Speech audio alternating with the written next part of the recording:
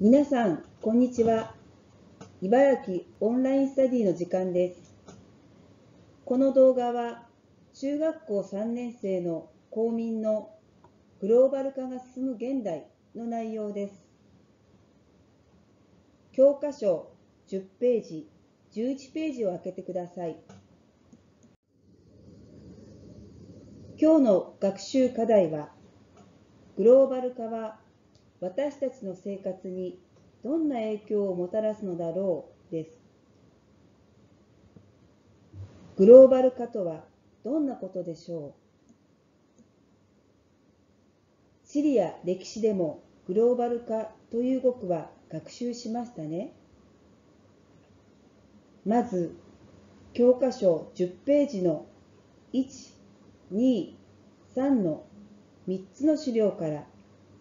海外への旅行者数はなぜ増加傾向にあるのかを考えてノートに書いてみましょ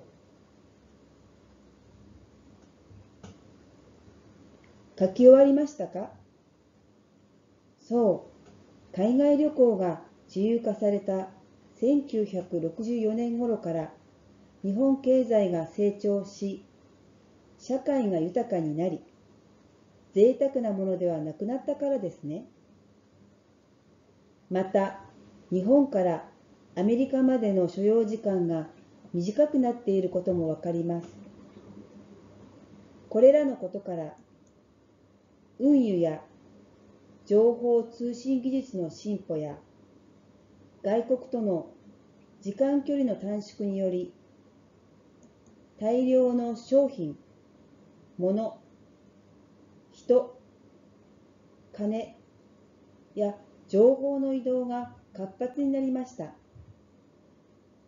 このように相互に依存を強めて一体化に向かう動き、つまり社会的、経済的に国や地域を超えて世界規模でその結びつきが深まることをグローバル化と言います。食文化で例えると、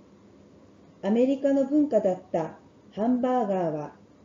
世界に広がり、大手のハンバーガーメーカーがレシピをマニュアル化して世界中どこでも食べられるようになったことが挙げられます。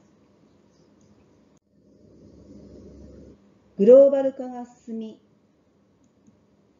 海外に日本で作られた商品が輸出される一方、海外から日本に大量に商品が輸入されるようになって、世界中の企業が国際競争を繰り広げています。これは安くてより良いものを供給し、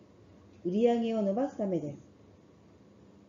国際分業も行われ、得意な商品を輸出し、そうでない商品は輸入するようにしています。さらに、グローバル化によって様々な人々や文化と接する機会が増えるため、世界共通の基準も作っています。教科書11ページの丸7のピクトグラムは、年齢や国の違いを超えた情報手段として有効です。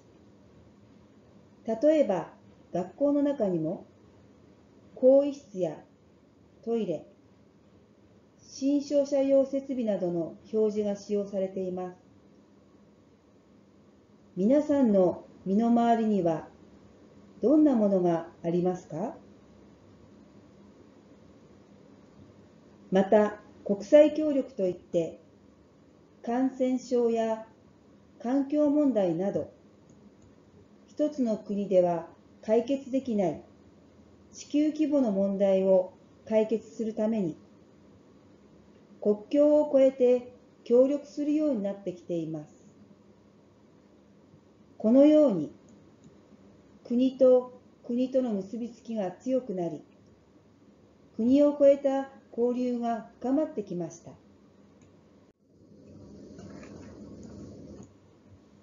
動画を止めて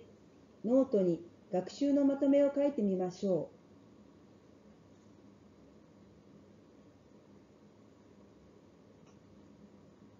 う。書き終わりましたか？最後に振り返りをしましょう。今日の学習で分かったことや考えたことなどを書きましょう。以上で